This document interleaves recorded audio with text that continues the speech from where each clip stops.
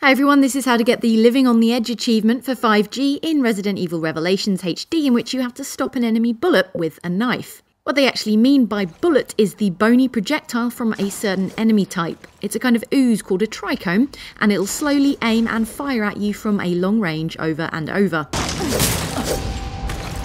which makes it simple enough to find a safe spot in a long corridor early in the game, as we see here. This is in episode 4 around the fight with Rachel, but you can do it earlier. In fact, I actually picked up the achievement accidentally uh, during the fight with the comms officer in episode 3. Keep slashing away with your knife and you'll get the timing right and smash the so called bullet soon enough. That's it. Good luck and come on back for more Resi Revelations.